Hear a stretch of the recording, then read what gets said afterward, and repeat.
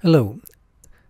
I taught computer animation uh, a long time ago at a university here in Germany, and one of the initial problems many students had, or several students had, was the communication between an animation channel, for example, something which moves from left to right and a little bit up and down, and what is called the graph editor and its curves. How are the curves in a graph editor related to a motion?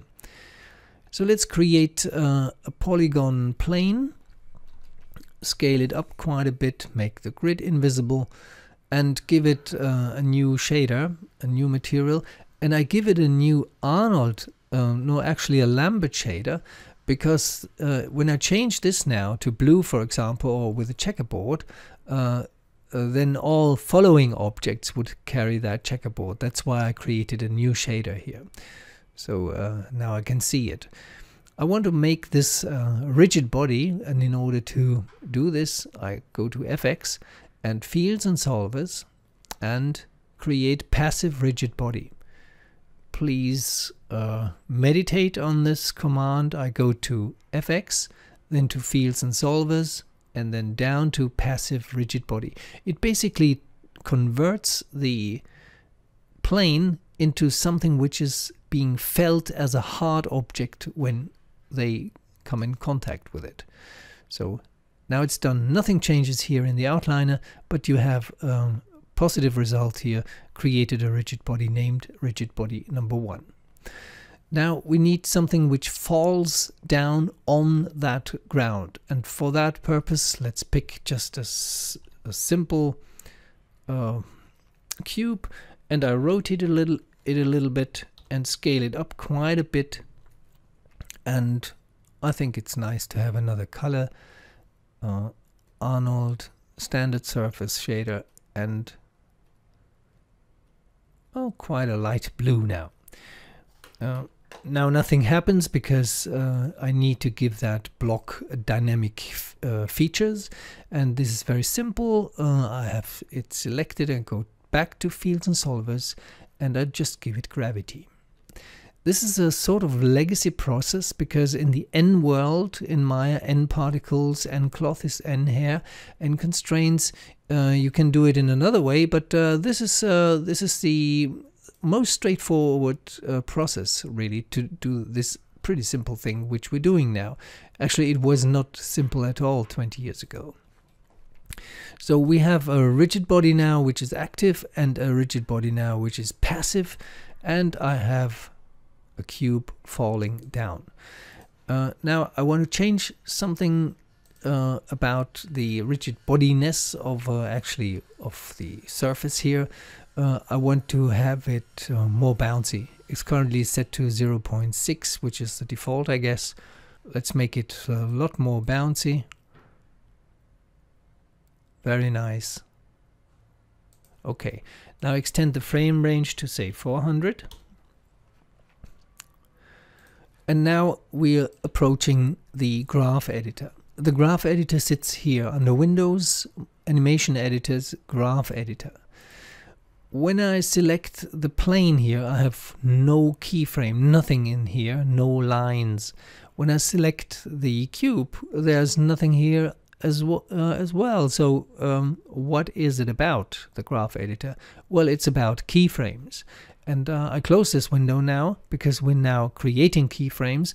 Why don't we have keyframes right now? Because we're in a dynamic simulation and the dynamic simulation doesn't need keyframes. It's just something completely different. It works with forces. So we never told the cube to be there at this very specific moment.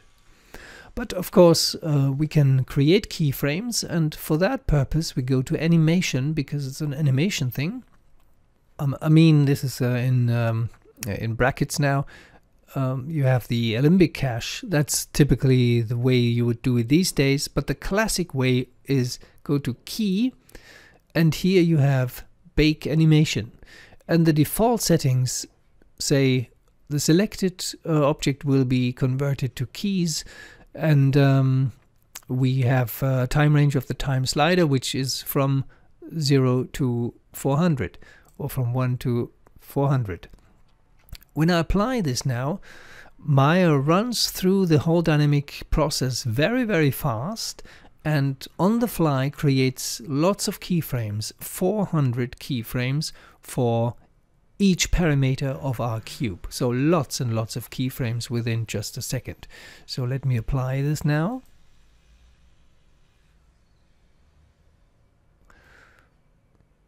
So it's done now. Lots of keyframes, which mean red and red down here. Actually, I can uh, delete the gravity now because we have keyframes. We have a baked simulation which doesn't care. If we delete the ground, let, let me delete this just for for a second. Uh, the cube will still bounce. Actually, kind of, I could leave it there. Um, I select the cube with all the keyframes down here and I go back to Windows, Animation Editors and Graph Editor. And you see lots of curves now, uh, which is just fine because we now have keyframes. What I would advise you to do now is move the window of the graph editor slightly down until it gets semi-transparent like here.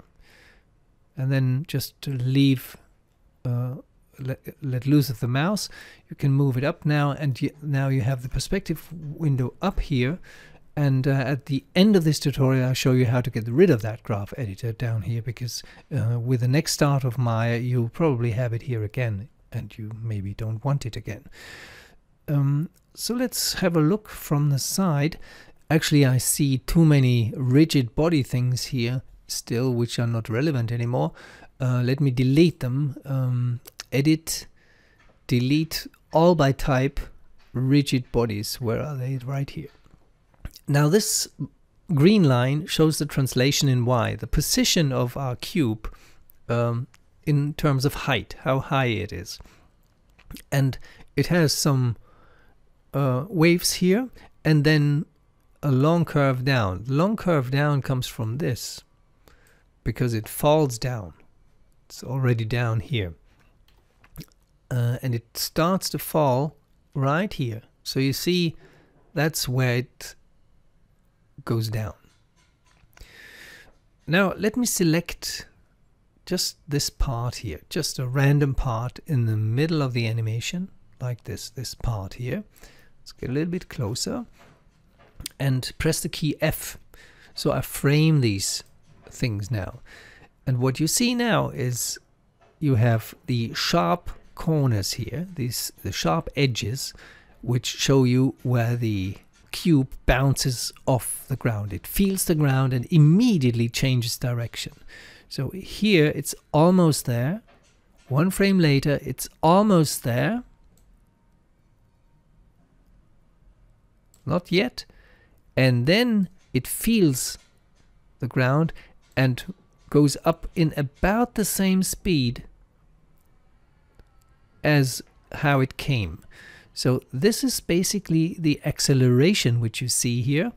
It's very slow and then it accelerates again and goes down again. What is happening here?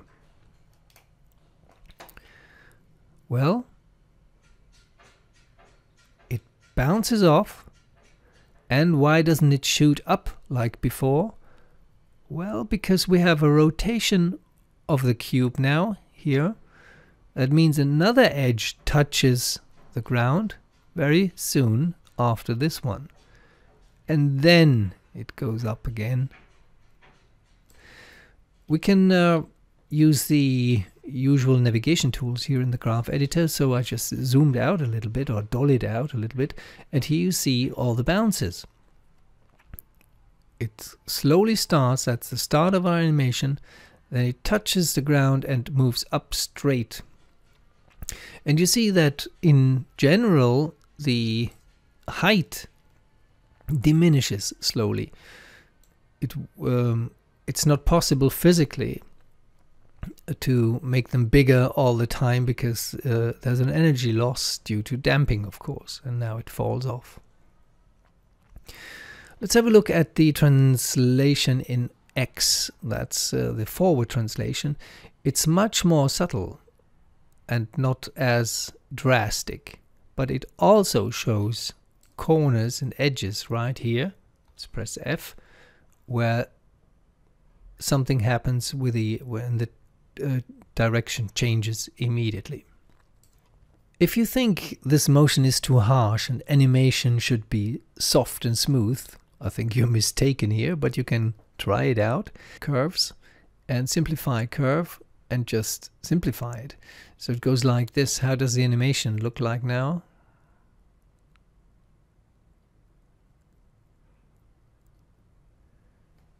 It's more of a dancing process and not really the realistic animation which we expect from a cube to fall down when it falls down on a plane.